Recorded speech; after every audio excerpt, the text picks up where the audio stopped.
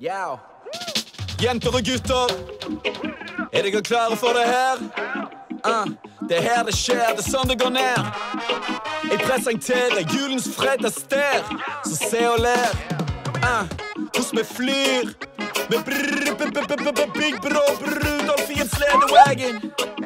Hvordan fikk du denne sleden swagen? Mange spør jo Hæ?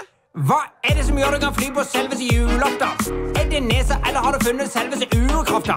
Og da svarer ikke uten sjalusi, må jeg si, at vi flyver bitte lite grann på grunn av nisseforslagi, men i det fri er det vi som lager sledesynergi. Da er det reinsdyrene som danner et kjedebatteri. Vi er de eneste som fikser det, og det er fordi vi har den aller, aller, aller beste anatomien.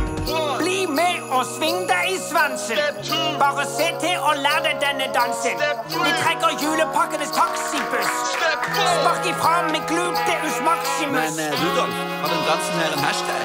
Prøv med give me the reinsdyret Rudolf-swag. Kom bli med, beveg deg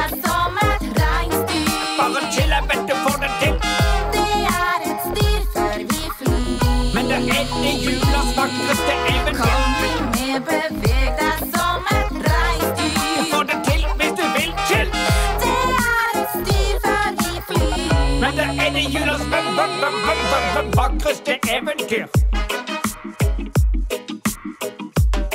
Men Rudolf, det er jo kjempestress. Hvordan er det du gjør det? Bare ro deg ned, du lærer det med en, to, tre. Det er lett for deg å si. Nei, du lærer det i en feil. Det er så mye som skal skje. Ja, det går seg til. Jeg vet ikke om jeg får det til. Du skal få det inn med teskje. Følg med, følg med. Klem buksene fast mellom lårene. Det er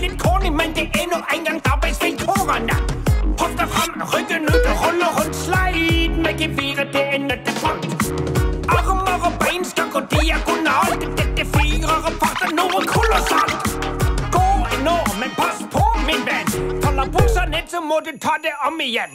Step Bli med og sving deg i svansen.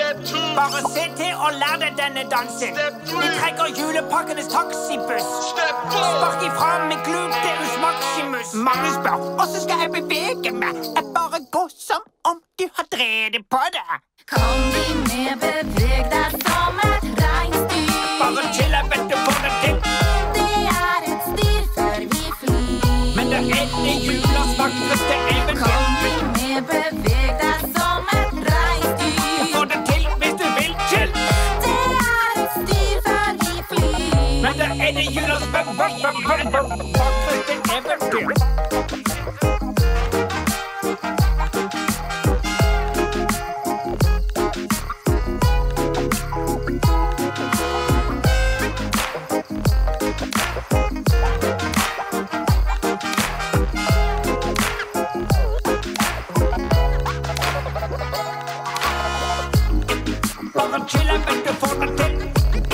You lost eventyr.